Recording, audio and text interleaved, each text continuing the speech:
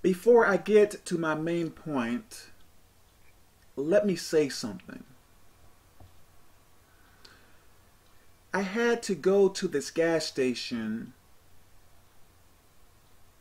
mm, maybe two or three hours ago, and I pumped some gas, and I had to go to the ATM as well. Meanwhile, I was seeing this guy going in and out of this gas station. And I was wondering what that person was doing, but whatever. So I went to the ATM, and right when I was walking out, this person was telling me that he did not have anything to eat and he showed me his finger. I don't know what happened to his finger, but his finger was swollen. It was really, really huge. I believe he broke his finger. I don't know. It was really, really big. Crazy.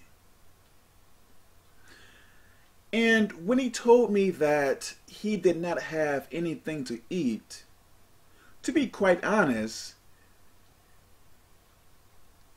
I just wanted to give him like a really bad excuse and walk off. but I was thinking, well, I might as well help him. So he went in and he got something to eat and I paid for it. And then when we walked out of the store, he was telling me, well, I need to go to Walmart and get some stuff for his finger. And I'm thinking, man, I just gave you something to eat and something to drink. Like, you still asking for stuff? and I was thinking, man, I really don't want to. Then I asked him, how much do you think it is going to cost? This guy told me for what he needs, I believe he said that he had to go to the hospital after work too but what he was saying that it would cost 1025 and i'm like i really don't want to give you that much money but i was thinking well i am going to reap what i sow. So i gave this guy 1050 plus the cost of his food and stuff. And while I was driving back home, I was thinking, like, man, I really gave that guy more money than I usually give a person off the street. And I was feeling some type of way about that. Then it came to my mind, well, it is good that I help that person because who knows what God has in store for me? Maybe that was a test. A test to see if I was going to give to a person who I knew nothing about. And before I gave him the money, I was like, this is not for any alcohol or cigarettes or anything like that. And that guy told me no. And I believe that was a test. And I pray that I passed that test. Because I could have used used that money for other things that I have planned, but we are here not for ourselves, we are here for other people. So let me get to my point now. Let's go to James chapter 4, verse 7. To the left is the King James Version, to the right is the Expanded Bible. Submit yourselves therefore to God. Resist the devil, and he will flee from you. There are some people who may say, Hey, Kevin, I repented of my sins and I am staying away from those things that are causing me to sin.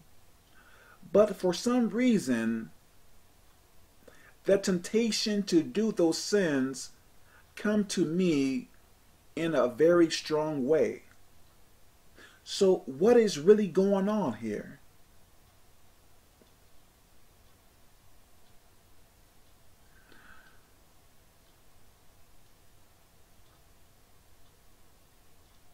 Even if you have repented, even if you are staying away from those sinful things, you are still going to be tempted. Even Jesus Christ have been tempted. Just because you are being tempted does not mean that you have to fall into that sin. I know for myself, I have stopped doing particular sins for years, have no interest in them, but yet the temptation that comes upon me is as strong as if I was doing it just the other night.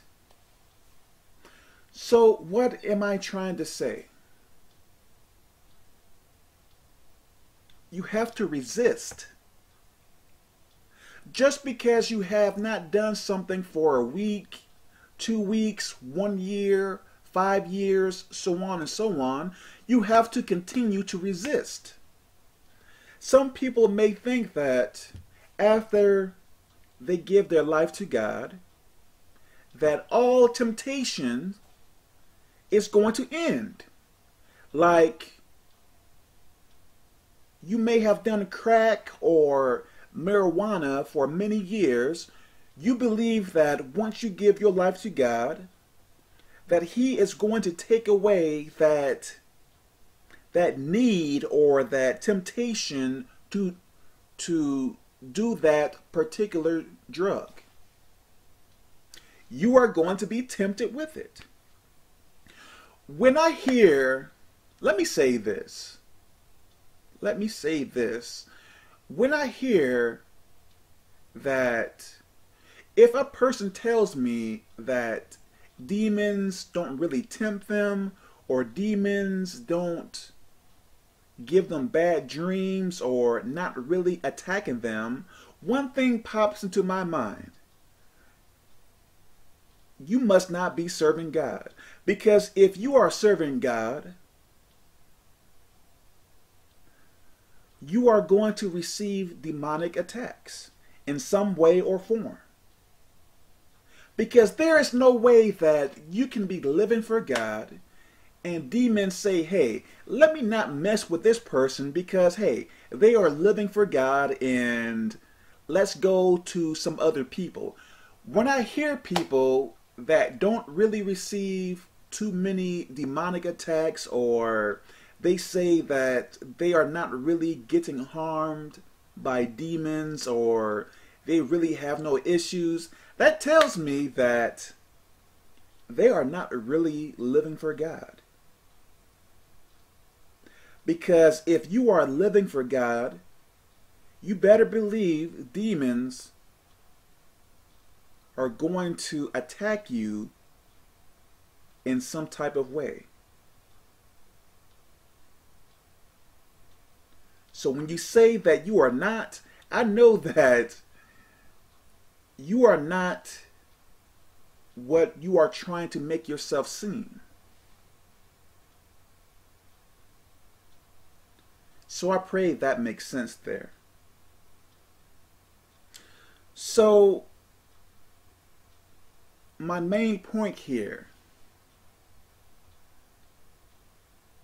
you have to continue to resist. If you don't resist, you are going to continue to fall into sin.